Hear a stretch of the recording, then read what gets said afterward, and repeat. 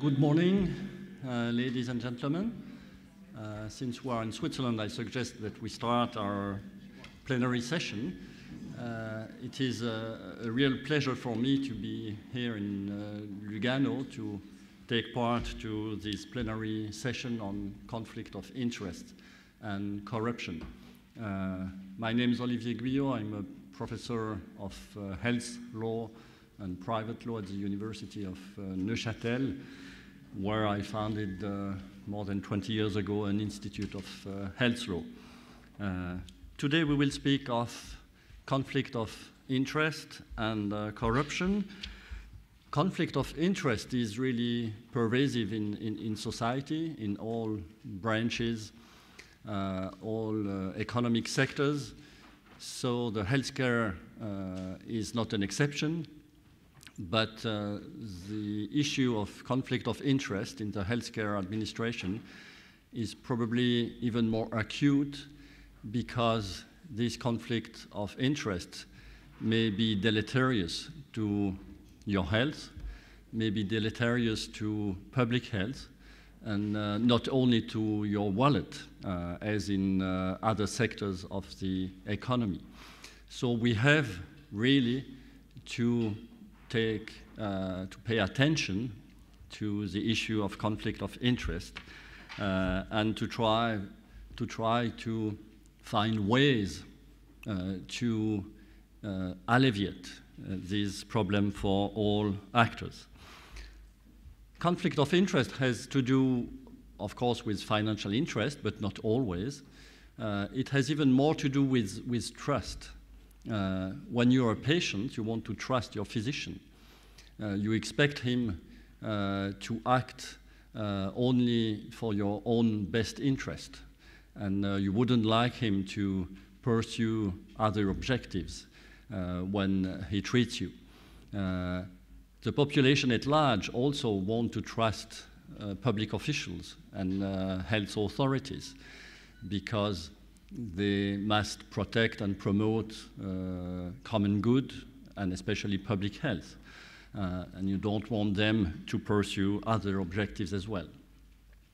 So to enlighten us on, on this uh, very exciting topic, uh, we have two outstanding speakers this morning. Uh, the first speaker will be uh, Marc Rodwin. Uh, Marc is professor of law at Suffolk University Law School in the United States and he also is a lab fellow at the Edmond Safra Center for Ethics at Harvard University. And he wrote numerous books and papers uh, on conflict of interest, especially the book Medicine, Money and Morals, Physicians' Conflict of Interest, more than 20 years ago. And a few years ago, uh, Conflict of Interest and the Future of Medicine, the United States, France, and Japan, and this book was recently translated into French. So uh, I recommend you to read this book either in French or in English. It's really a fascinating book. Uh, as a second speaker, we will have the chance to hear uh, Marco Bobbio. Marco Bobbio from Torino in uh, Italy. Uh, he formerly was chief of cardiology at the Santa Croce Hospital in uh, Cuneo, also in Piemonte. Uh, and uh, he was also in charge of heart transplant in Torino for many years. And uh, like Marc, he wrote numerous books and articles on conflict of interest. Of interest. Uh, for instance, uh, in 1993, the same year as the first book from Marc, uh, a book called Leggende e realtà del colesterolo, le labili certezze della medicina, uh, which means legends and truth on cholesterol, the changing certainty, certainties of medicine. And uh, more recently, he wrote a book, uh, Giuro di esercitare la medicina in libertà e indipendenza. Uh, that is, I swear to practice medicine in freedom and uh, independence. So I'm really uh, looking forward uh, hearing you both, and uh, I'll give you the floor, Marc, for your talk.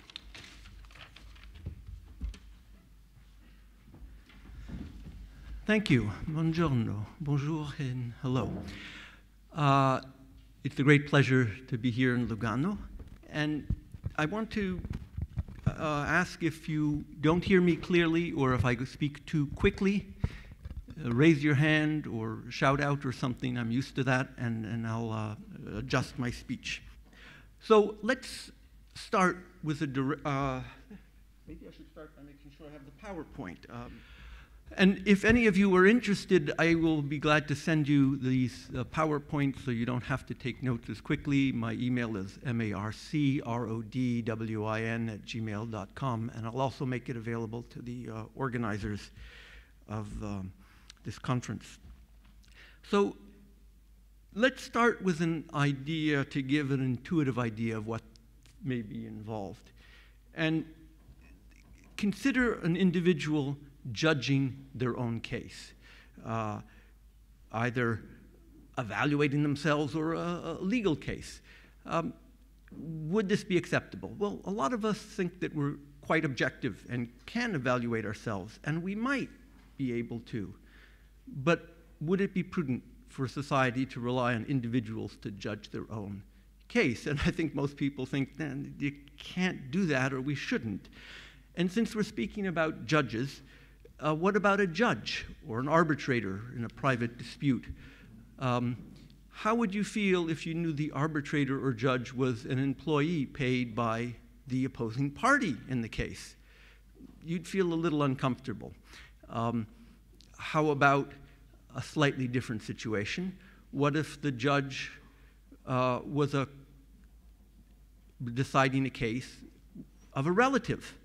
Or a close business associative. Well, we also would worry a little bit about this, and we have legal standards to say that there should be separation and distance to avoid the potential for bias uh, or corruption. So that's the kind of thing that um, we're going to talk about. Now, I want to distinguish classic corruption from conflicts of interest. By classic corruption, I mean things like bribes, kickbacks. You pay a government official to make a decision in your favor, or you pay uh, a teacher to grade you favorably, or you, you do something to change the outcome. And those are generally condemned um, and often illegal, but not always. Uh, but distinct from this, there's something that I often call um, uh, um, normal corruption, and that is influence. Um, now, just to give an example of medical context of some of these classic corruptions, it used to be the practice of general physicians in the US to get paid to have their, for surgeons to split their surgical fee and pay the referring physician a part of that. Uh, and that helped induce the referrals. And then the codes of ethics decided that that was uh, unacceptable. But there are ways to get around the legal or ethical prohibitions. So for a while, the surgeons would not split their fee. They would hire the referring physician as an assistant to help them in the surgery, although they didn't do that much. Uh, and that you can have avoiding of the classic kickback with the same economic incentive to refer and the same potential for uh, loss of, of uh, objectivity and bias. Um, let me give another example.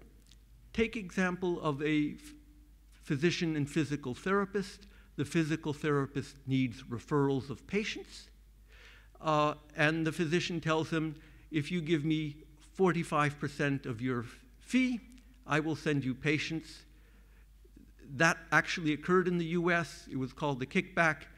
And at one point, the physical therapist uh, that came out in the lawsuit said this is illegal, we better clean up our act. So they decided to set up a corporation in which the physician owned 45% and the physical therapist the rest. and the physical therapist was an employee. And so there was no kickback, but the doctor still received 45% of the income. So that was a legal means that avoided being a kickback or a bribe, but it had a similar effect. And it turns out there are a lot of financial transactions that can have a similar effect of this illegal classic corruption, and I'm going to speak about them as conflicts of interest. Now, a couple of preliminary points. Conflicts of interest and regulation of conflicts of interest can be a means to control disguised kickbacks. But they can also be a means to deal with something very different bias, not where there's a, an actual uh, purchase of, of a change of a decision. And a couple of other points, I'm talking about conflicts of interest mainly in medicine, but this is a problem for all walks of life. And in fact, the legal analysis has started with public officers and finance and other areas, and uh, more recently.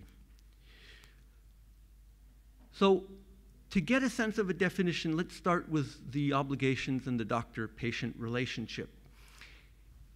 Patients rely on physicians for advice about their medical needs, about what services, about their diagnosis. And we have a societal expectation that physicians will make those clinical choices and advice in the interest of patients. And in fact, there are ethical obligations, but also legal obligations. And we often talk about this in the US as fiduciary obligations, going back to the Latin word fiducia, fidelity. And over years, there's some um, well defined uh, uh, obligations of a fiduciary.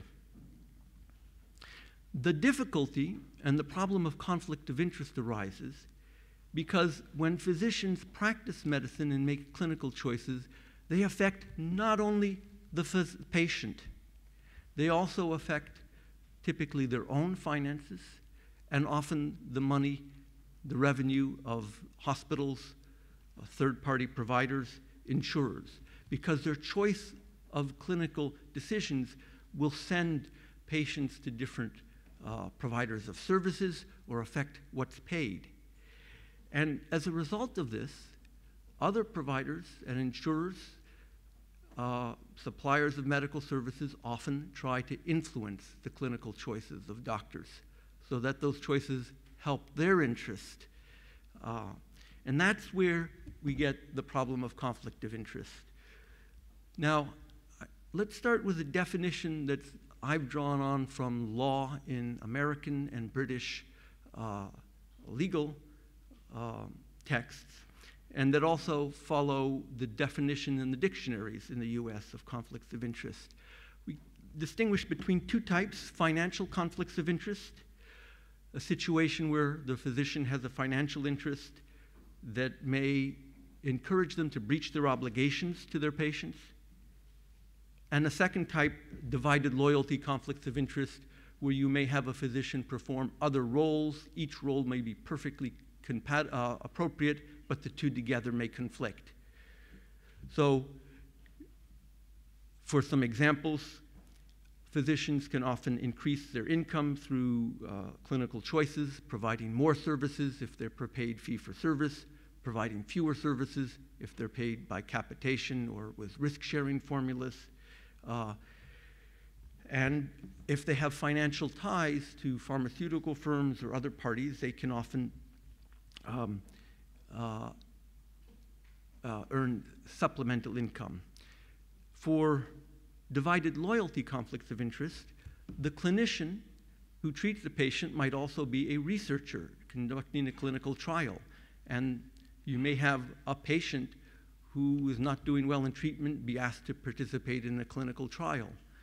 The problem is that the patient may think that they're getting medical treatment in the clinical trial if the same doctor is there and uh, asking them to enroll. And the aims of clinical research are to increase knowledge, uh, not to uh, cure, because we don't know the results yet. So both roles are appropriate, but there are many other areas also in medicine where they're conflicting roles.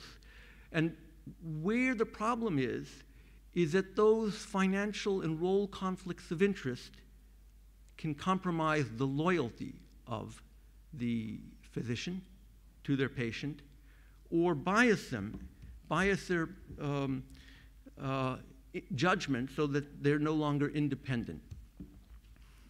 Now, there are many other ways to define conflicts of interest, and Dennis Thompson at the Safra Center, a philosopher, uh, came up with a slightly different version, and it's been adopted by the Institute of Medicine.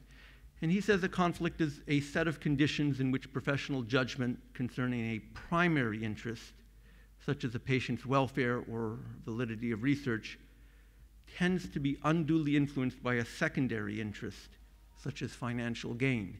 And that works quite well for most situations, as the definition I've given from the law. Um, what's a little bit different is there's no nothing stated there explicitly about being a fiduciary or having an obligation. Maybe that's assumed to be in medicine. Uh, and um, and putting first primary and secondary interest on the same level might be a little bit ambiguous. But since that's widely used, you can also use that as a, a definition. The other thing to keep in mind when we talk about conflict of interest is we do need to define roles and who is the professional supposed to serve.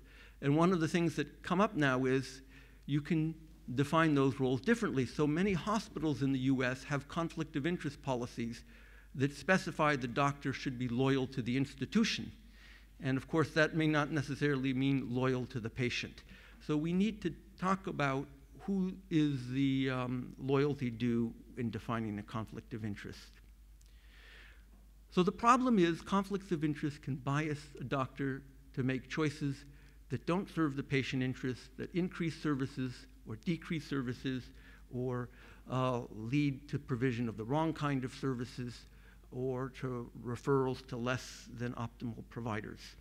And obviously, as I've defined it, any financial tie is a conflict of interest. So a cup of coffee bought by a drug firm is a conflict of interest, but so is a grant of uh, half a million dollars. We may want to distinguish between small and large. There's psychology that suggests you can get um, indebted relationships even with small things, but sometimes one needs to focus on the large things. And another point to keep in mind is I'm not saying money is the root of all evil. Um, payment is good and appropriate as long as it's aligned.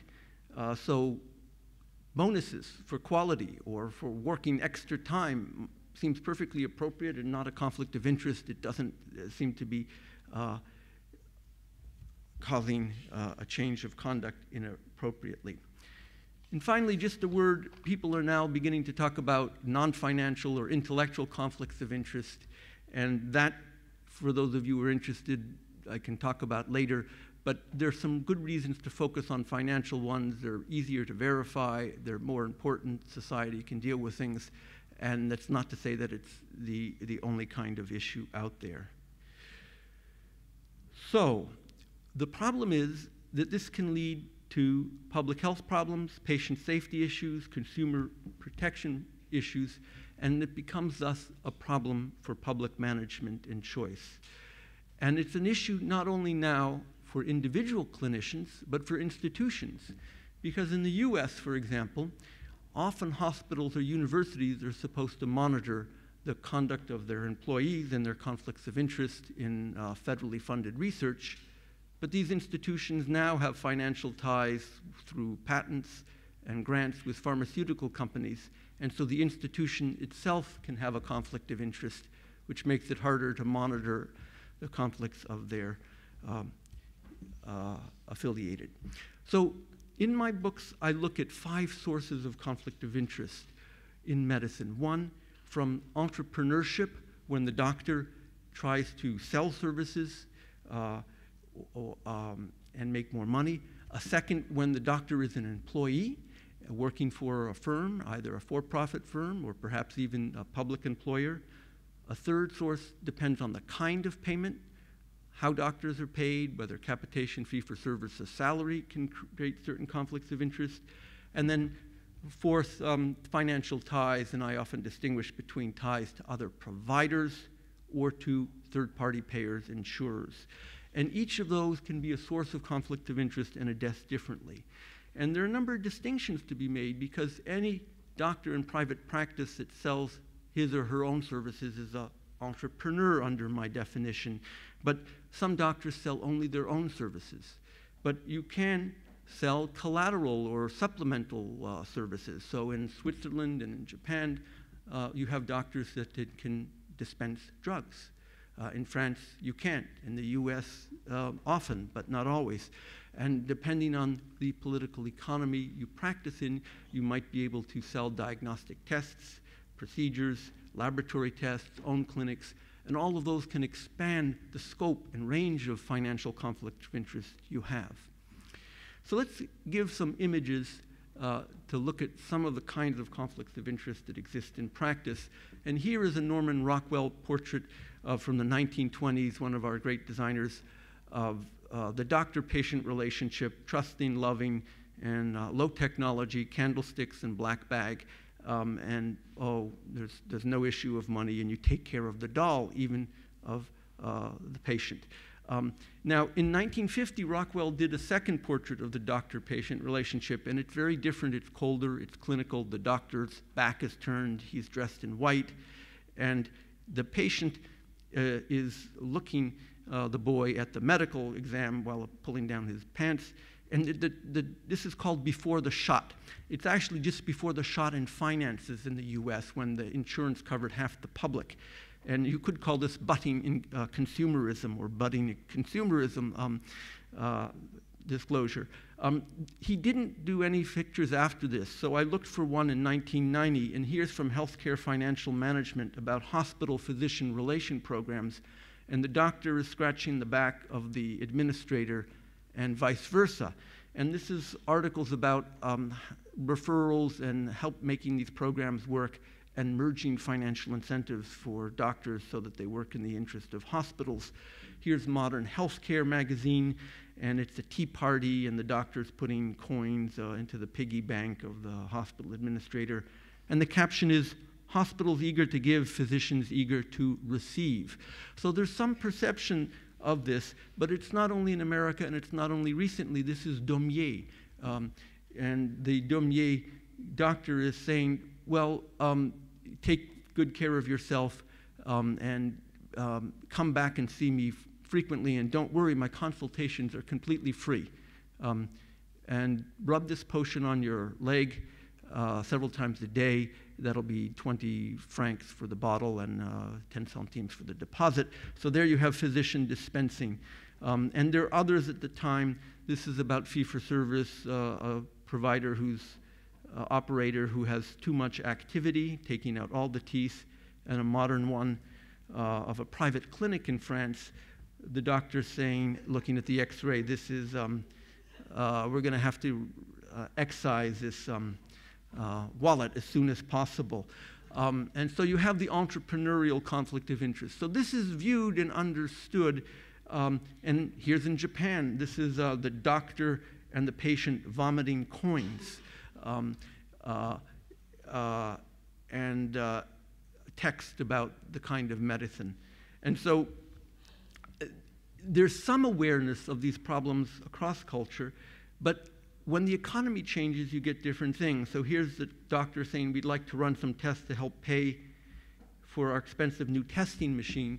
Uh, since you have the capital and the scanners and you have to amortize the cost, that means if you fall below the minimum level, you have not enough revenue to pay. And in fact, I've looked at the prospectuses to get physician investors in these, and they often predict how many times you need to need, use the machine or for the physician to refer to make this rentable, to make it uh, uh, not a loss. And um, that's one of the problems you get.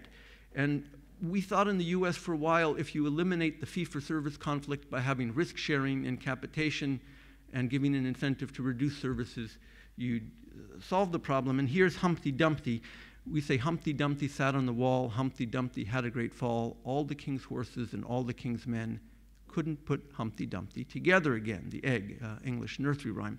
But here, the, they say he's in an HMO, the egg, the Humpty Dumpty, get a few of the king's horses and some of the king's men only, uh, because you want to economize in services.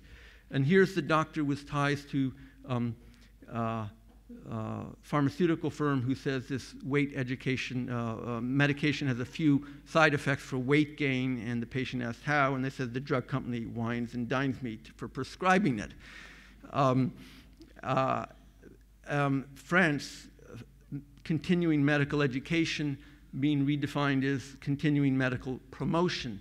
And all of these are funny, and when you go into my book, there are very detailed statistics on the financing and the numbers and the rate of the returns that are less compelling than this.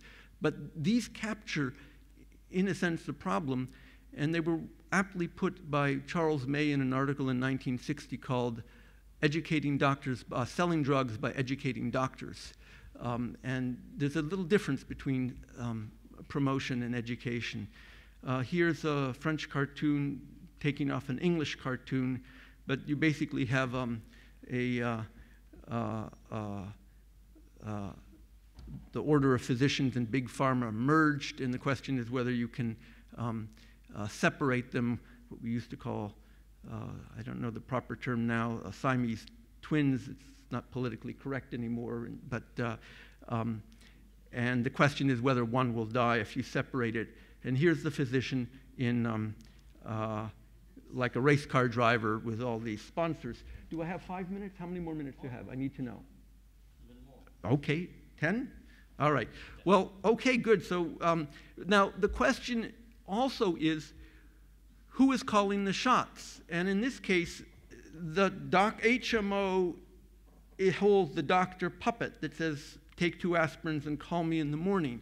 So one of the problems is this is not only a problem of physicians, it's a question of where the physicians are in the political economy, because it's the legal and financing system that creates the conflicts of interest for the physician. And if you organize medicine differently, you get fewer or less or different kinds of conflicts. Um, and so that we can't look at this as only an issue of the individual ethics of the doctor. Um, and so that leads me to talk about how to cope with conflicts of interest, because um, I want to say a little bit about that. Now, first, where do we start? And for a long time, this used to be viewed as a problem of ethics and character of doctors. The good doctor following the Hippocratic Oath would or should act appropriately, and that's what you need and you certainly don't want anything else like rules or society. And the professions in many countries viewed this as a weak link, and they developed ethical norms and guidelines because an individual shouldn't or can't decide always on their own. And so you have codes of medical ethics from the AMA and the Ordre de Médecins, the physician orders, and they often did set uh, standards. But the problem is that these organizations represent the profession also, and they myself often do have conflicts of interest. And in my books, I look at the history of the codes and their ties, and they've done very well generally in certain kinds of conflicts of interest, but not uh, in others. And more recently, for example, in France, um, the Order of Physicians has been having alliances with the pharmaceutical industry to increase pharmaceutical funding for payments to conferences. And so another alternative is to have society, the law, legislatures, or courts oversee that with the idea that they are the judge and the profession can't judge its own conflicts and be independent.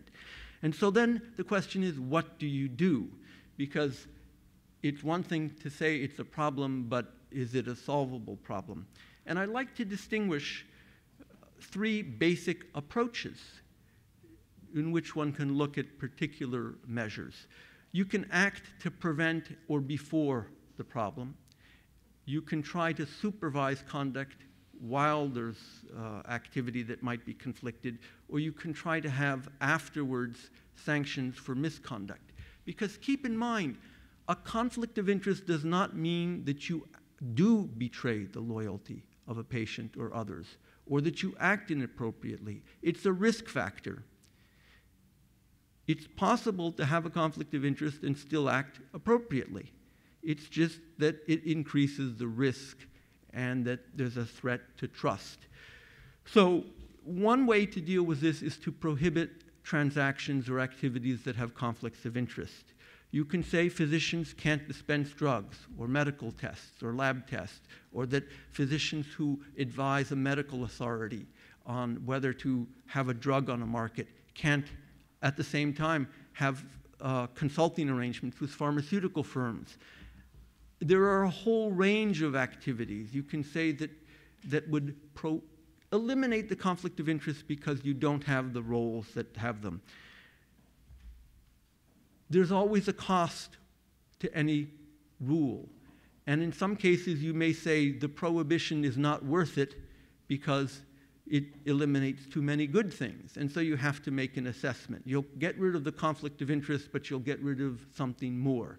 And the critics say we throw out the baby with the bathwater. So you have to make uh, an assessment of whether the activity that you value could exist without it. Uh, if you don't want to prohibit, then you could at least disclose or have transparency. Um, and often people like this solution because it doesn't mean you have to do anything that much or to prohibit that much. And um, unfortunately, it doesn't often solve the problem. You still have the conflict, and the question is then do you uh, have people able to make decisions, patients, or behave differently that will change the situation? And often I think it doesn't, but you have to look at the specifics. If you don't want to go to prohibiting or just disclosing, then you can try to manage or supervise conduct. And there are all sorts of ways that society either removes discretion from physicians so that they can't abuse it, or supervises their conduct, uh, utilization review, monitoring the referrals, regulating prices, as a way to oversee, in some part, conflicts of interest. That, of course, is expensive too.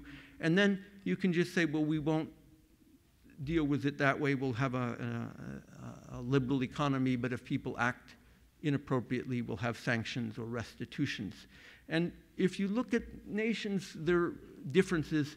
And just to look at, say, physician entrepreneurship, compare the United States, France, and Japan, um, drug dispensing in the US, most states allow it, five don't, but their oversight but the managed care companies limit it.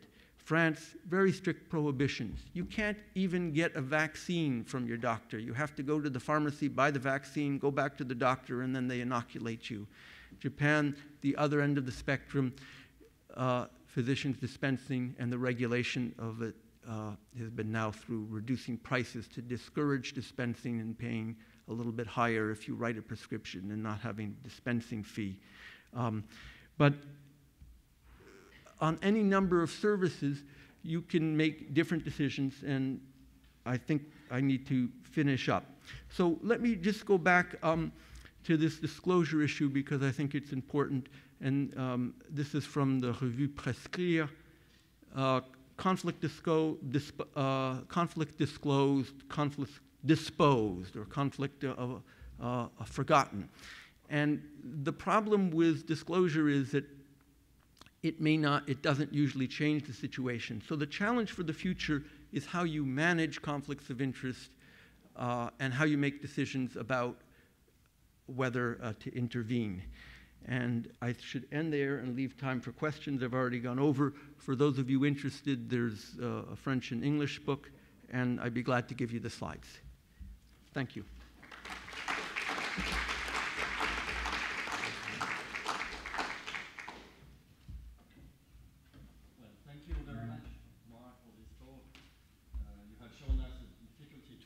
Manage conflict of interest and uh, uh, a number of uh, ideas maybe to, to help mitigating them. I suggest that we first hear also Marco Bobbio, and then we'll open a time for discussion. So, Marco. Good morning. Thank you for inviting me to this session. I think it's very useful to have the chance to uh, see the problem of conflict of interest between two points of view the legal aspect and the clinical aspect. I'm a physician. I worked for all my life as a cardiologist, and so I look at uh, conflict of interest from a point of view of a physician, of course. Uh, I start from uh, a, an article that uh, give a, a very important message.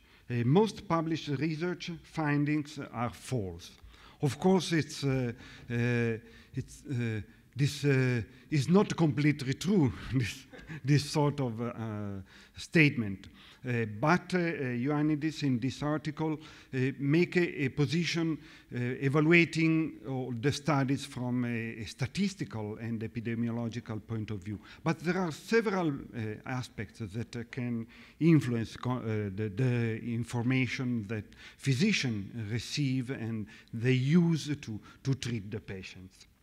Of course, um, Mark made a, a, a big distinction, distinction between corruption and conflict of interest. Of course, uh, corruption is a, a, very bad problem for uh, the health system.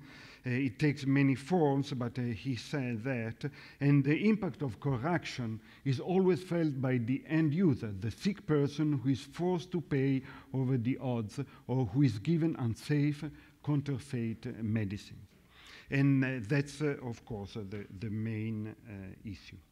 Uh, in the last few months, uh, while I was preparing this talk, uh, several articles were published on uh, scientific journals. Researchers is arrested for falsifying these results.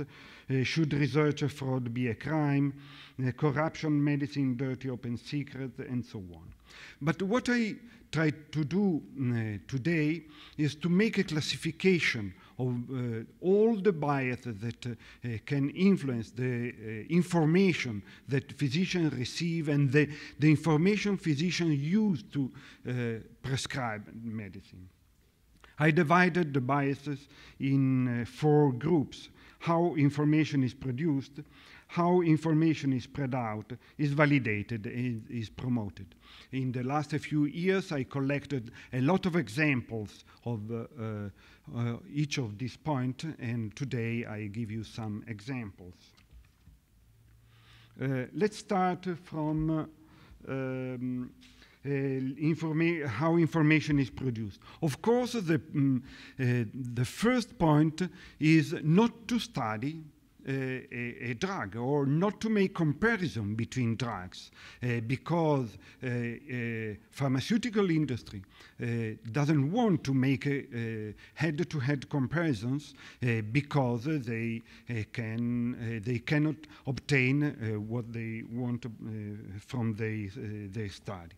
Of course, there is a sort of independent agencies uh, like the National Heart, Lung and Blood Institute or some institutions also in Italy that uh, mm, promoted independent study. And for example, the DIG study com mm, comparing uh, digoxin uh, with placebo demonstrated there, there is no difference at all between in mortality between uh, placebo and uh, digoxin. But of course, Uh, the producer of digoxin uh, never uh, uh, afforded uh, to, to study, to make a comparison between digoxin and uh, placebo. The second point is to kill a, a, study when the result is negative. In this story, um, it's a long story that starts in 1978 when uh, Betty Dong uh, conducted a study of bioequivalence uh, between levothyroxine and three other generic products. And uh, after, uh, in 1990, she concluded that all four preparations were bioequivalent. But Boots made a lot of pressure to discredit the study. And uh, when finally in 1995 the study was uh, uh, submitted to JAMA and was accepted by JAMA, uh, the, the, drug company said that uh, the data can, cannot be released without written consent because there was a, contract signed by the drug company and the university. So after a court trial, the article was published on JAMA in 1997. So from the end of the study in 1990, it, it took seven years to publish uh, uh, the, the result of the study. Or another way to uh, uh, bias the results is, is the abortion. Uh, sometimes when the, the results uh, during interim analysis, you find that the, um, uh, the drug will not have a, a, positive result, you can interrupt the study for commercial reasons. That's uh, the, what happened in the study of comparison between verapamil, beta blockers, and diuretics.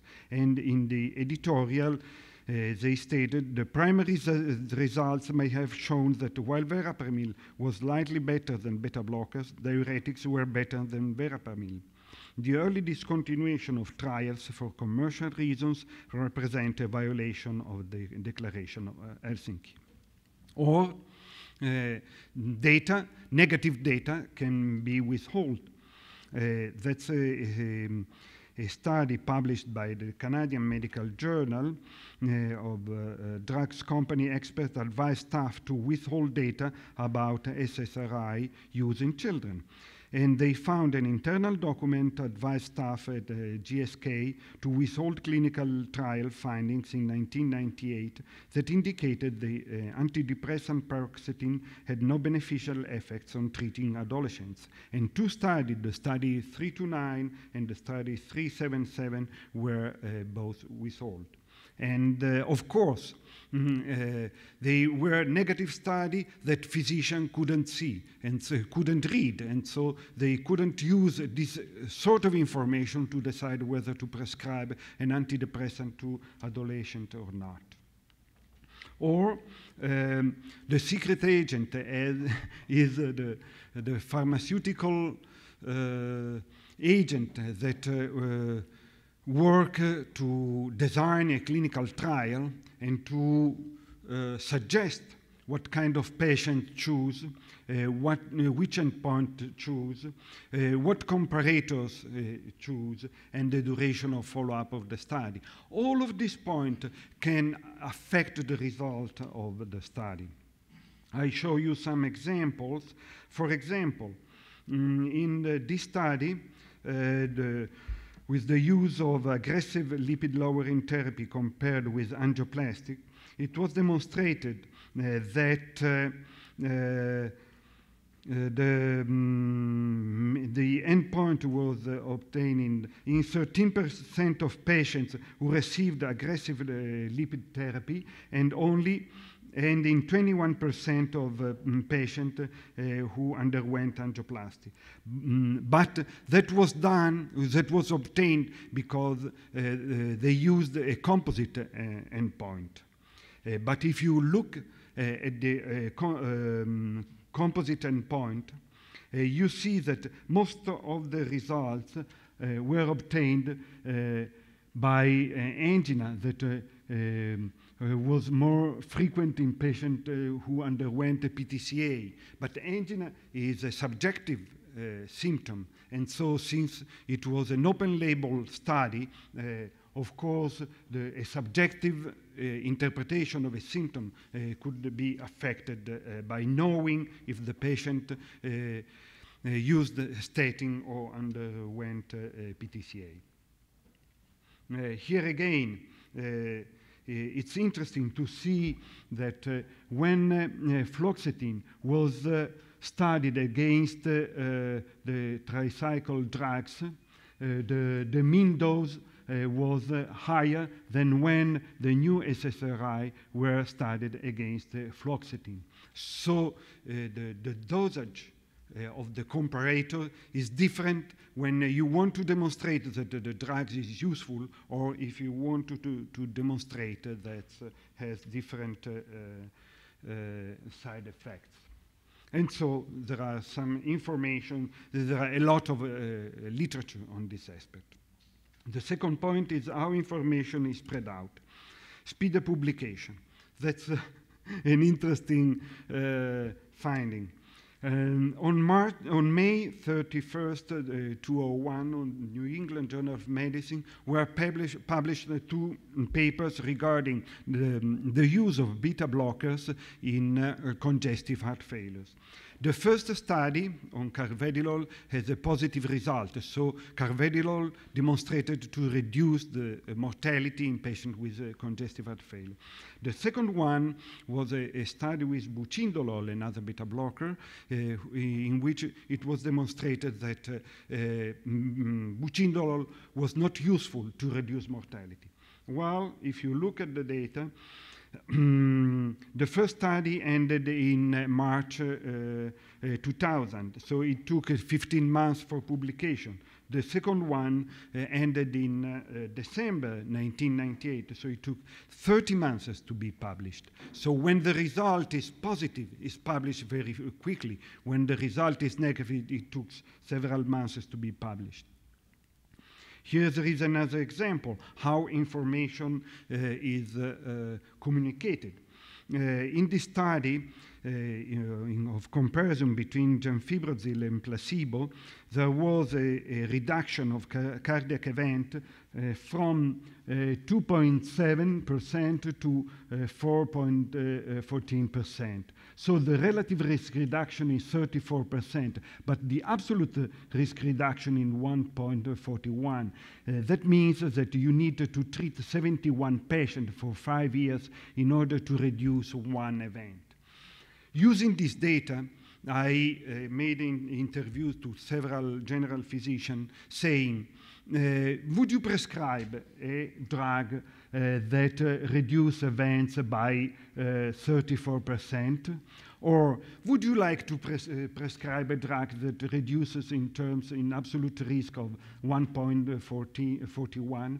Or would you like to prescribe a drug that uh, you need to treat 71 patients in order to uh, reduce, to avoid one event?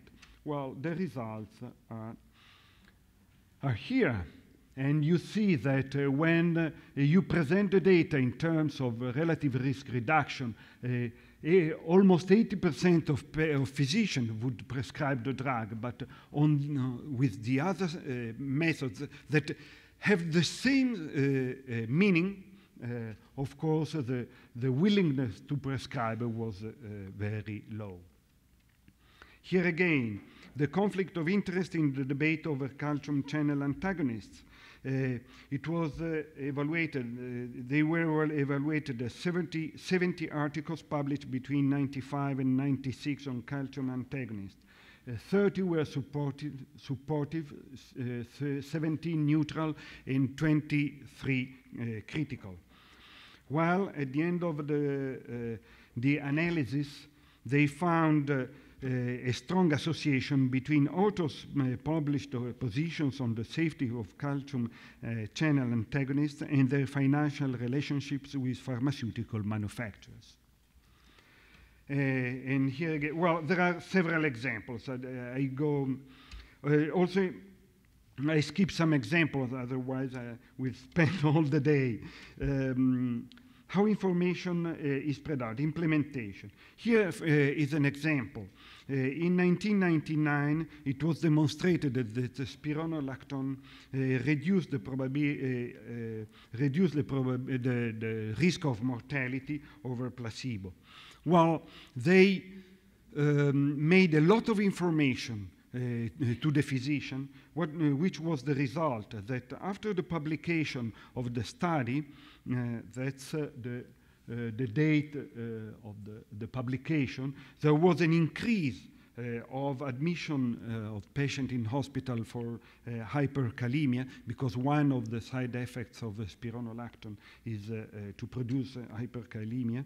And also there was an increase of mortality for hyperkalemia. So when the information is overwhelming to um, uh, for positive uh, resu study results, we can uh, obtain negative data.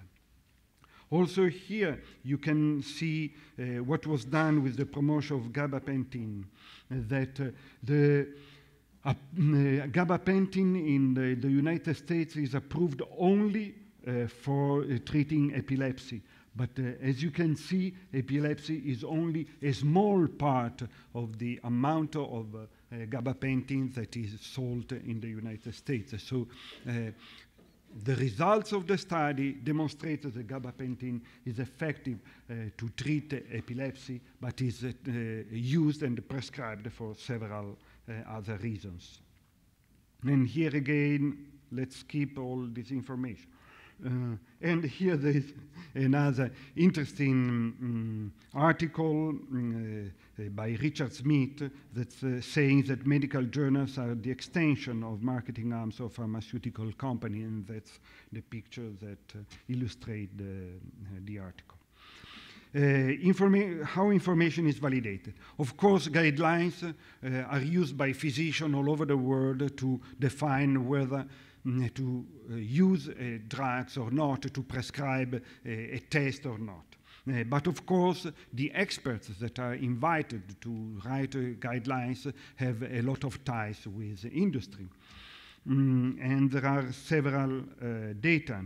For example, in this study, Choudhry evaluated the mm, relationship between mm, the, uh, uh, the, the, experts, the, the, uh, the, link of the expert of, who wrote uh, the guidelines uh, with uh, pharmaceutical companies. Instead, there is a considerable interaction between the authors and the pharmaceutical industry. And uh, if we look at the national report on uh, cholesterol, the third national, uh, and you see the uh, conflict of interest of all the authors, you see that uh, all of them had a lot of uh, ties with industry. So you cannot expect that guidelines are independent if there is this sort of link between um, experts and industry. And the last uh, story is uh, uh, it, mm, it, happened a couple of uh, years ago when dronedarone uh, was uh, studied for atrial fibrillation. And after the, um, the, the, study was published, um, six, six months after the, the study was published, the, the new guidelines were prepared. And uh, looking at the guidelines, it was said that despite the limits of the evidence, all three guidelines recommended dronedarone from prevention of recurrence of atrial fibrillation. Two of the guidelines recommended it as a rate control agent. So there was no evidence, but the guidelines suggested to use it. And finally, how information is promoted. Uh, here I uh, give you uh, data very interesting. Uh, Orlowski uh, analyzed how physicians uh, prescribed a, a, a, drug before and after a symposium. Uh, before and, and, after a symposium on, uh, on intravenous antibiotic, and as you see, the, the number of drugs prescribed in the six months before and afterwards increased so, very much, and also for a new cardiovascular drug. And, uh, mm, uh, but uh, then he asked to those physicians if the enticement of participating at this symposium influenced uh, their pre uh, prescription patterns. And uh, the 85% said no, and only 15% said yes. So they don't perceive the risk of influence of, mm, of information by the industry. Let's skip this one. Uh, and I give you some uh, uh, titles dis discussing the, the, link between the education and um, conflict of interest.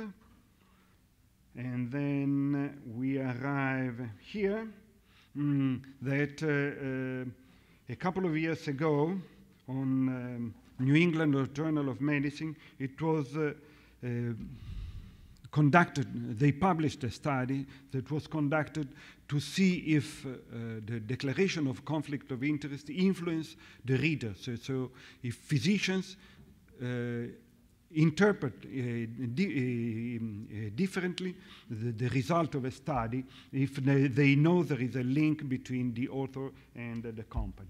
Uh, the result is that uh, uh, industry sponsor, sponsorship negatively influence the perception of methodological quality and reduce the, their willingness to, to believe and act on trial findings. And uh, uh, finally, this, this, is a study that was published uh, three days ago on um, JAMA of Internal Medicine, um, studying the, the, relationship between industry and uh, um, authors of uh, randomized controlled trials and they say that uh, our results suggest that in addition to disclosure of industry funding source, a greater transparency of industry funders' role in the trial design, analysis, and reporting might be valuable for assessing potential bias in trial findings. And so we arrive at the conclusion of this talk uh, trying to find some tentative conclusions. So I agree with Mark that uh, conflict of interest is a, a big issue. Uh, of course, it's not as big as, as corruption, but uh, uh, conflict of interest influence all information that the physician receive. So the information physicians use to prescribe drugs uh, is mm, um, influenced by uh, the results of uh, um, the, the, conflict of interest. So what we can do is to reduce physician representative relationships, uh, make disclosure of on any type, open access to research data, independent to uh, increase independent information and research, of course, and uh, tell physicians that uh, conflict of interest is a, a, risk factor. So I think living and working with physicians, uh, spend, uh, spending all my life working with physicians, that they don't perceive the, the, risk that the conflict of interest can affect their independence and um, uh, how they treat the patient. And so I think that uh, uh, it would be very important to um, uh, to tell physicians to be very careful uh, anytime they make a, a, a connection with uh, any sort of, of, industry that works in the health system. Thank you very much.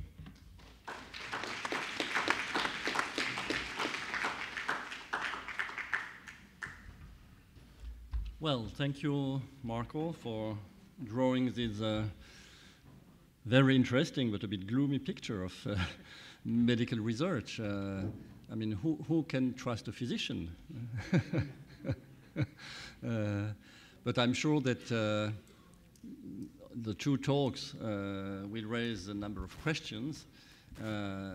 maybe I have a first question and then I will give you the opportunity to to ask questions also to our two uh, speakers. Uh, you alluded to a number of solutions, both of you. Uh, you both spoke of disclosure and transparency. Uh, Mark, you seemed rather skeptical uh, about the effect of disclosure. And uh, do you think, Marco, that disclosure is part of the solution? And no. I would like also Mark to go a bit further on this issue of disclosure.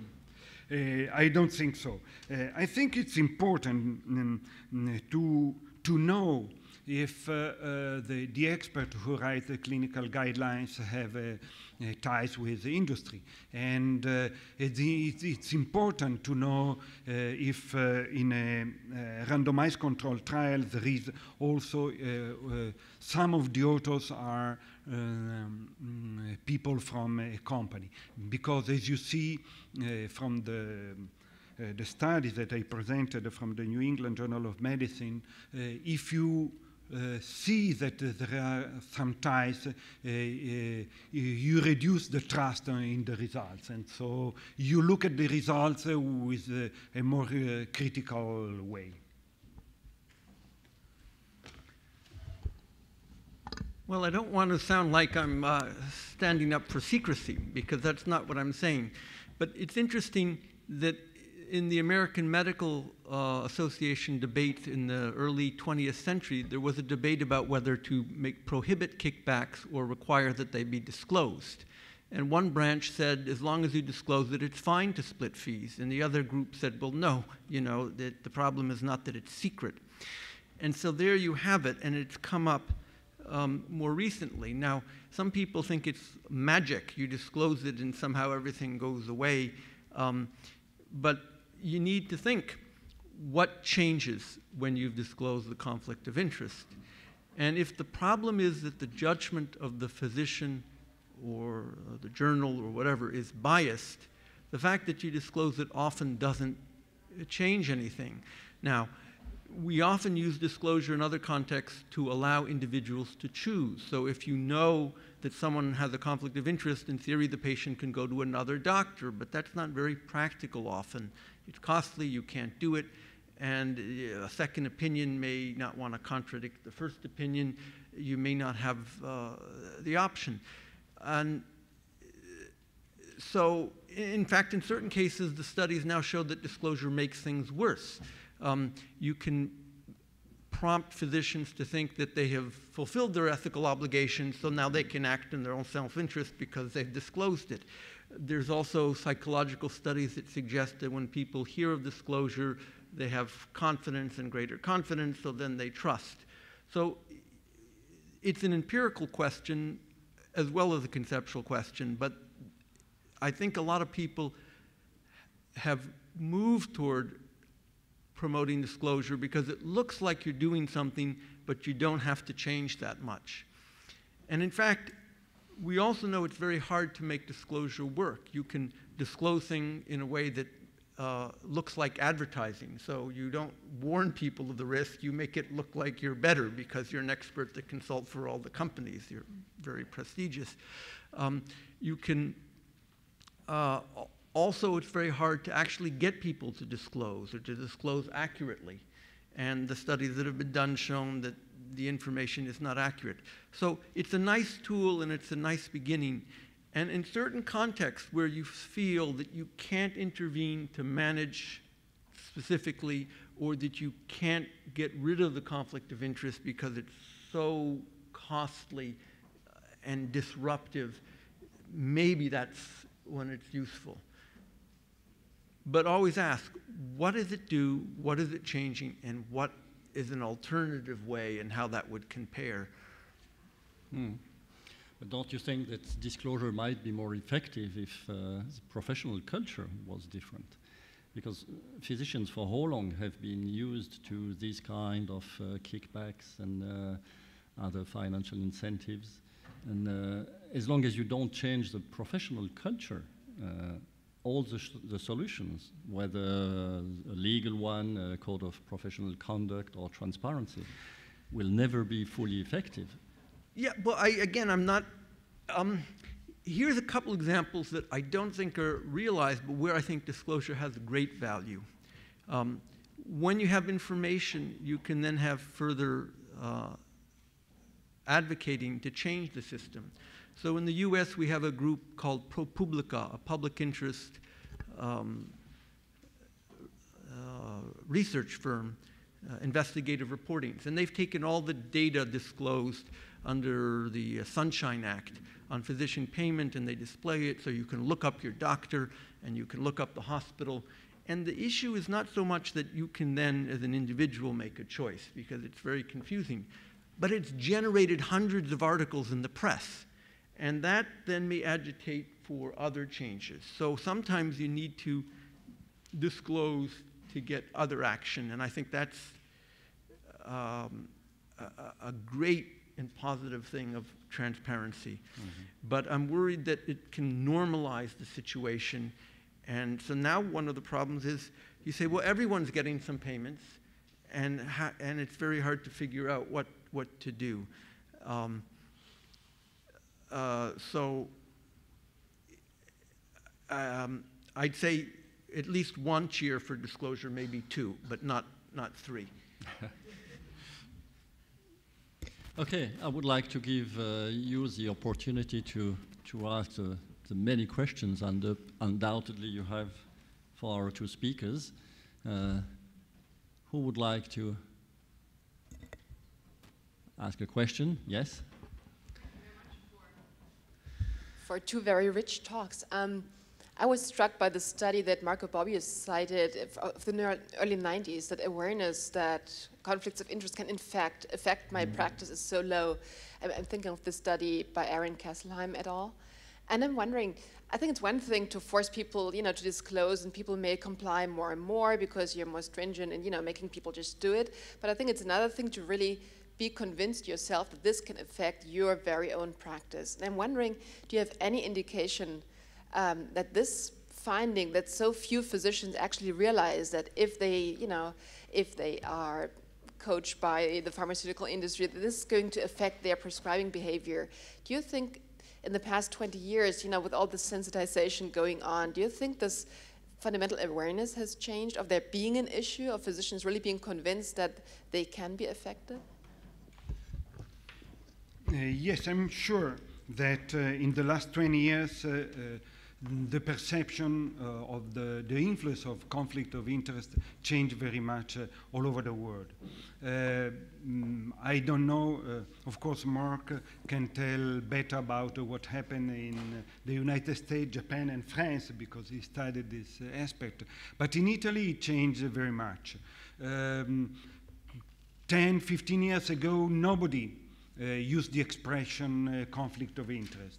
Now, uh, all the physicians know uh, that's a problem, and, mm, and of course, they try to deal with it. of course, that doesn't mean that uh, it changed completely the influence of industry on uh, the, the um, pre partner prescription of uh, physicians. But in some way, there was much more concern and uh, so uh, also because uh, in, uh, also in national meetings of the cardiologists, of the oncologists, there were uh, meetings uh, discussing conflict of interest. So nowadays, all physician knows the problem.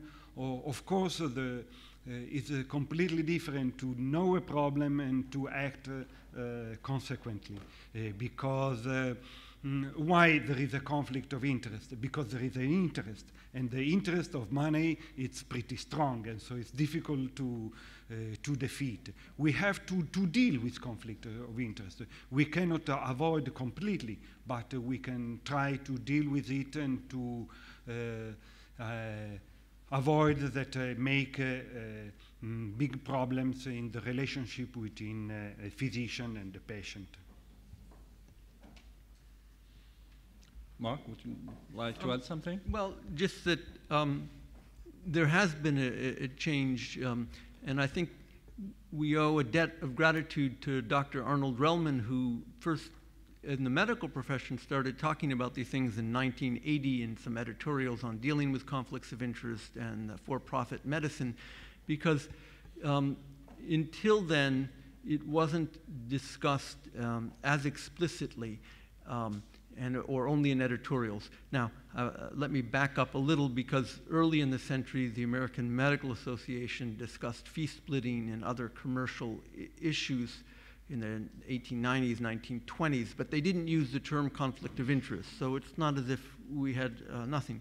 But then there was a period of silence from the 1950s on when the American medical profession explicitly decided not to talk about it, and they fought with the American College of Physicians, which came out against fee splitting and said, uh, please don't do this anymore, and they even disciplined some of their members who um, spoke to the press. And Arnold Relman made this a respectable thing for doctors to talk about, and that helped spur under Jerry Kassirer and Marcia Angell empirical studies of conflicts of interest to measure, and it's become now an acceptable part of a medical academic career to study this, whereas before it was only a kind of a minor sideline when you wore your ethical cap and in the evening after dinner and had conversations. Um, and the other thing that's changed is it's no longer up to physicians anymore. Policymakers and insurers are beginning to get involved um, and, and make uh, some uh, decisions, sometimes explicitly, sometimes uh, uh, implicitly through other forms of regulation. So it's now on the agenda. It may not be managed well, but uh, I think it's going to, there's, it's, I don't think it's going to go away for a, a long time. And we need tools and the activities of others as well as the medical profession to deal with this because I come back to the same image. You can't always only judge your own case, you need others um, uh, to be involved. Another question? Yes, Luca. I, I have two questions. Um, first of all, in, in the 90s, I wrote my PhD on uh, double agency. So you, you have spoken about um, the fact that um, conflict of interest means that a doctor uh, has a certain loyalty not only to the patient but to other third parties. But I think there is a, in my view, a healthy conflict of interest, which is the conflict of interest between the interest of the individual and the interest of the community, the individual health and the public health. So my first question, how you can imagine to reconcile in a healthy way this um, commitment to both uh, the patient and the community or the society. The second point, uh, I'm completely, I completely agree with Marco uh, when uh, the problem is um, in the field of research, in the field of uh, producing information, disseminating information, then is such a huge problem, then you need institutional arrangements. You cannot solve it in a different way. You're, but uh, if we come to the very intimate relationship between uh, the patient and the doctor, so what for a long time economists suggested was uh, to solve the problem by using what we call um, extrinsic uh, motivational uh, designs. So to, to rely more and more on incentives control and um, bureaucratic uh, systems to solve this conflict of, of interest. But what we know uh, after 20 years of this, or 30 years of this uh, improvement, is that there is a crowding out going on. So the, the intrinsic part, which has something to do with ethics, with uh, uh, the professional um, uh, understanding, can be eroded. So at the end, to get the same result if, you, if the social norms are, uh, are reduced because once you, you introduce this kind of incentives, you send a message around that uh, trust is not uh, anymore uh, a value, that you, you cannot trust the physicians. And I think this has um, on, on, uh, on the colleague a very strong impact. I am the, the, the last one who is uh, behaving in a loyal way to the patient. So the second question is how can we design uh, so the institutional uh, solutions that you have in mind without crowding out uh, the social norms? Well, um, on, on, um, on double agency, it's definitely an issue. And as I mentioned, I, there are these dual roles, and both may be perfectly acceptable. So sometimes, for some of them, you may separate. So a physician who's trying to develop guidelines about practice may be in a role of balancing uh, individual and social and thinking about what makes sense from a social point of view, cost effectiveness. But when she's in the office treating a patient, then I think the obligation should be to care for the patient in front of them, subject to whatever social constraints reimbursement constraints and guidelines that exist that make some balancing issues. It's obviously a bit more complex than that, and there's a whole literature on bedside rationing and the like. Um, but I don't have a quick uh, uh, uh, solution for that. And, um, but that gets to your second point. And I think it's very American to think that we can manage things to just have different incentives. So we'll just tweak the incentives and the reimbursement and have a, a blended payment and adjust a bit more. But the very fact that you tell people, as you say, that we're giving you an incentive to change your conduct may change the internal professional norms and ask people to think about their own interest. And, and that's very dangerous too. And so there may be some benefits of having a more neutral payment and salary and then trying to change uh, and affect social norms and behavior rather than developing the perfect um, uh, compensation system that has a little bit of incentive to reduce services and a little bit for quality and a little bit for uh, effort and, and, and all those things. Um, I hope to get into some of those issues in my course, but it's hard to do in a sh short time here. I think that uh, you, Olivier, you can make some consideration regarding the first uh, uh, question of uh, Luca, uh, the, between the relationship between the individual and the social, uh, the conflict of treating an individual that's against the, the community or vice versa, some treatment that are useful for the community but not useful for the single patient. So it's an ethical aspect. It's one. Yeah, sure. Uh, but uh, I of the same position as Mark. I mean, uh, when the physician is at the bedside, uh, he has a fiduciary duty to his patient, and so his patient health should, he, should be his primary consideration. Uh, when he is a public health physician, uh, of course, he will think differently. Uh, but uh, of course, the same person sometimes maybe in both situations, but usually not at the same time.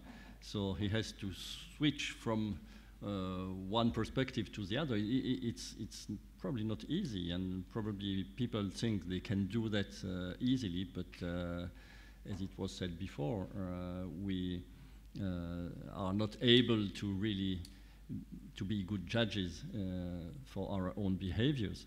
Uh, but there is no, so, no easy solution to that. I mean, because both interests are valuable interests, and you have to, to take them into account. And there was another question. Yes.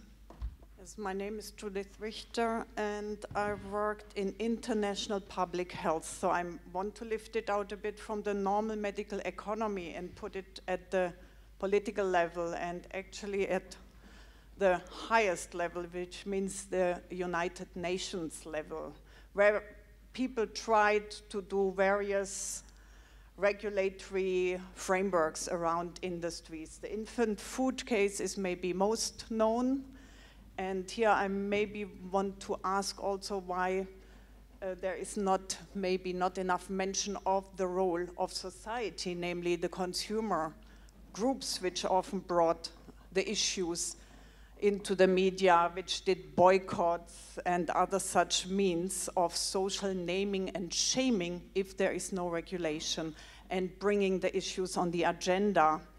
So one comment from there would already be, Marco, you say you think corruption is more of a problem as conflicts of interest. I would see it a bit differently.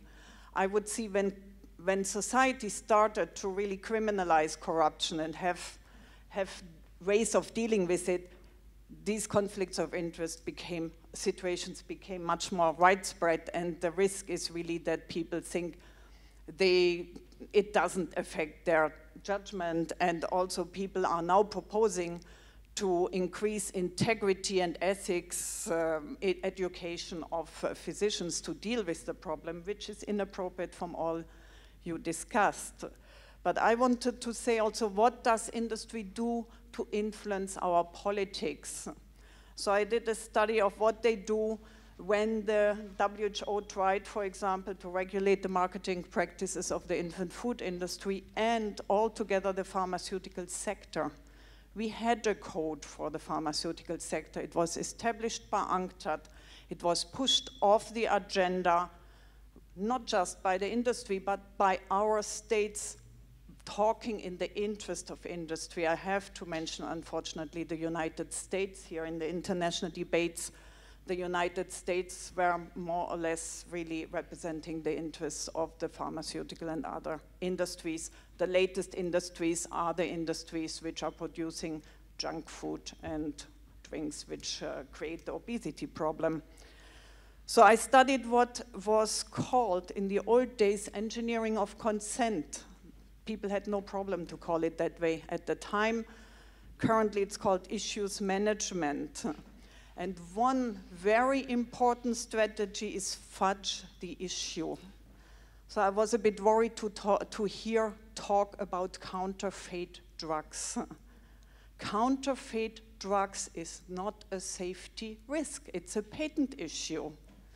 It started out at the WHO level as one of the essential drug policies which talked about substandard drugs, the problem of substandard drugs for patients. The proposal was to set up labs in all developing countries to help them test the quality of drugs. It now ended after the pharmaceutical industry entered the debate as partner in all these debates. It ended out as a big campaign against counterfeit drugs. Result is, first of all, incredible links between the pharmaceutical industry and everybody. Here in Switzerland, we have a partnership with uh, the Pharmaceutical Association to work against the problem of counterfeit drugs. It ends with countries stopping generic drugs produced in India, for example, meant for another developing countries in Western countries because it is against the laws on counterfeit drugs. It's a health risk, the campaign against counterfeit drugs. So I would like, when we talk, I think one of the means is we should educate not only physicians, but everybody about the manipulative strategies of the industries, not only of the marketing um, kind of uh, manipulation, but really also political manipulation. So of course, uh, that's a, a, very big issue. Uh, I, I always focused my attention to uh, at the physician level, not at a national level. So I have no data. I, I read a lot of uh, uh, problems regarding the, the influence of the industry on, on nations, uh, uh, but I have no data and I cannot give you new information regarding your, um, what you said at the beginning, I think that uh, um, conflict of interest is a, a real um, a problem uh, because it's not fully perceived. Uh, by physician. That's the real uh, risk uh, of the, the, the, conflict of interest. Because corruption, anyone knows that corruption is bad, but conflict of interest is often perceived as something that you, you can do it because everyone has some sort of conflict of interest. It's difficult to define the level of conflict of interest, and so it's not perceived as a real risk for the, the health system. So, Judith, I agree with you. There are problems at several levels, and it, uh, one problem is the physician's judgment, and that's a useful empirical choice. We'd like things to work well. But even if the physician acts in a way that's neutral or in the interest, they depend on the knowledge base. And as Marco's pointed out, if the knowledge is corrupted, they can have the best intentions and best analysis, but their results will flawed. And then, as you point out, at the national level, whatever policies, regulatory policies we have, uh, also may bias the situation and have bad effects. And so I've recently started working on what I call institutional corruption um, and ph pharmaceutical policy because I, I, agree with you that uh, there are um, things that weaken the effectiveness of institutions that are supposed to protect the public, and that's a whole other area. So there's a lot of work to be done, um, and we'll have to uh, work different parts at different times. Yes? Thank you very much. My name is Lida Lhotska and I work for the International Baby Food Action Network. Thank you both very much for your presentation and I want to come back to you on two points with two questions. First, Mark, to you. You said there are many different types of conflicts of interest and that it may make sense for people to focus on financial or financial generated conflicts of interest. But you also mentioned intellectual conflicts of interest.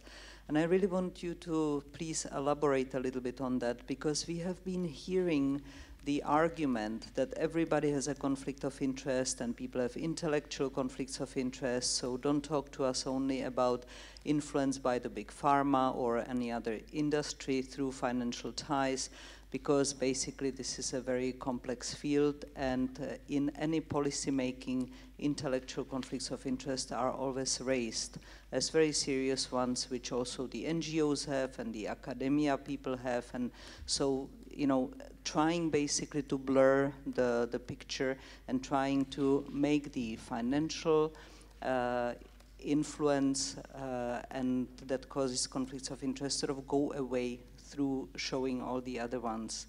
The second question or remark is, I agree that if physicians become more, uh, or anybody else for that matter, more uh, knowledgeable about who is behind the studies that are published, behind the articles, how these uh, studies were funded, uh, what is the role of the researchers vis-a-vis, -vis, for example, the industry that is producing the drug that is being reported on. They may read the articles differently and make a better judgment about the value of the results. But uh, I think uh, also saying doctors to be more aware of conflicts of interest, it is a good thing, but it does not solve the whole problem because we know about the sort of insidious nature, how conflicts of interest are created, and how many, perhaps all of us here in the auditorium would say, well, it concerns the other person, it concerns the others, but not me, I'm aware of it. I can prevent it. So if you could comment on the notion of how one person even aware of conflicts of interest, can that person fall into the trap or can we always prevent it through just very rational thinking about it and acting on it? Thank you. Who will start? uh, well, I think it's a, a, a big issue. Uh, because of, of course it deals with a psychological aspect. Uh, the, as I uh, showed you, uh, if uh, you ask a physician uh, this uh, meeting, uh, this drug representative influenced your pre um, prescribing pattern, most of the physicians would say no. So they don't, mm, they uh, they are not aware that uh, uh, how big is the influence of their prescri prescribing habits. Um, I don't know exactly uh, what to do because uh, you are right that uh, when you deal with conflict of interest, you think that's always a problem of someone else. And so I don't really know what to do. I think that we should talk and uh, teach during the university uh, courses. And so that the students uh, should know that when they will become physicians they will uh, have a lot of pressure on their prescri prescribing habits uh, and so uh, they mm, they have to find some way to to combat the, this sort of influence. But mm, I, have no other idea. On the psychology, I'd be glad to send anyone who's interested a list of 30 or 40 articles that have been published uh, detailing the problem of perception of bias. And PharmedOut has a nice slideshow online on, on uh, mistakes uh, of this, and so does uh, No Free Lunch. On the issue of intellectual conflict of interest, I think it is often used as a distracting factor to disrupt a serious debate. But like a lot of advertising, they play on something that has a germ of truth. There's definitely other things besides financial conflict of interest, and there's bias, and we know that, and we deal need to know it. But the reason that we developed financial conflict of interest regulation in many fields is because it's clear, it's empirical, there's a means to deal with it, and it's very, very important in a society that runs a lot on market transactions, and there's ways to deal with it. Whereas the other one's important but less susceptible for rules. So as long as it's not used to stop progress, I don't mind. And let me just give one final example. The medical profession in the US has often said we have our own ethical guidelines and therefore we don't need law. And that's, that's the real problem. I think if you say, and they're going to be higher than the law, or we're going to do something before the law, or in addition, that's great. But if you say, leave it to us, and so don't regulate, I go through the experience of uh, 50 to 100 years to showing how it's um, been a step backwards. And that can be the same situation with talking about intellectual conflict of interest, too, if, if one's not careful. Well, thank you very much. Uh, it's 10.35. I guess we have to close this plenary session. Uh, well, the first step when you want to solve an issue is, is awareness. And, uh, I think now nobody in that room uh, will be able to, to state in the future that he or she is not uh, aware of uh, the conflict of interest issue. So it is together that we might uh, design uh, some ways to mitigate uh, this issue of conflict of interest. I would like to thank very warmly our two speakers, Marco Bobbio and Marc Rodwin.